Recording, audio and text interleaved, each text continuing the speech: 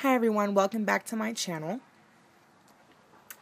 For those of you that are new, my name is Evynn, and we are currently in the beginning of making um, a series of colors and candles associated within Wicca and witchcraft. And I already made previous videos, so if you don't know about those, go ahead and revert back. Um, but today's video is going to be about the color orange and using orange within candles and within witchcraft and Wicca.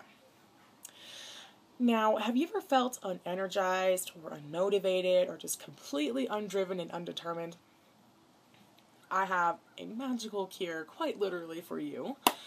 Um, orange actually um, very, very much helps with energy and chakra balancing and intu- intuition and memory and things like that. Again, I will be reading excerpts from my personal book of shadows. The color orange. Use orange if you are feeling unmotivated and lack energy. Or use orange to better help you set goals. Another excellent reason to use orange is if you want to cure fear, doubt, worry, and point you in the right direction. Orange also helps you see the truth. Um, so, again, with the intuition and opening the third eye, balancing the chakras, um, orange is a very warm color. And much like the color red, orange does help with within energy. Um, red, for me personally, I have found more so sings to my sexual energy and sexual passion. Orange is more for energy and motivation in everyday life.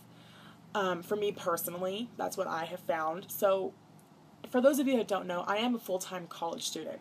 So, I do definitely hit the days where I have to read my social psychology book and I just totally just want to die. I just don't want to do this. This is so horrible.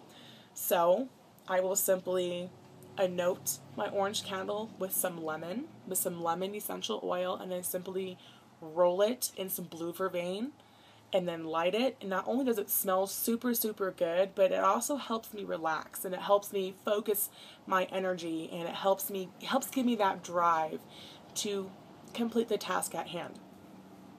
Now also in my own book, um, I specifically say um, if you want to cure fear, doubt, and worry, then you can definitely use orange. Orange kind of counter reacts the negative feeling. Um, a lot of people associate sadness with the color blue, like, oh, you're feeling blue. Well, orange is the opposite of blue on the color spectrum in the sense of orange is warm and bright and vibrant and jolly and it's just amazing. Um, and it's almost as if when you light the candle and when you work with the color orange itself, it's almost as if you kind of feel yourself smiling a little bit more. Um, that might be a psychological thing in the sense of it's like I said, it's a happy color and it's warm and fuzzy and it's great, but it's also really good for a lot of different magical purposes as well. Um, like I said, that um, with my study personally, that's a simple, you know, energy focus ritual spell you can put together and use, and it has worked really good for me. Um, I've noticed my test scores have improved, and my overall student academics has improved. So I really feel like that's definitely a good motivator for me.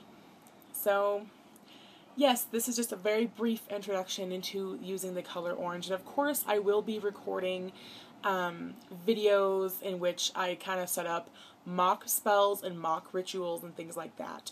And I will further describe um, things more in detail. If you have any questions, comments, concerns, feel free to comment below, video response me, private message me, or you can even email me at my private email at evynn.rose at gmail.com. So, thank you all so much, and I wish you all light, love, and many blessings, and have a blessed day. Take care.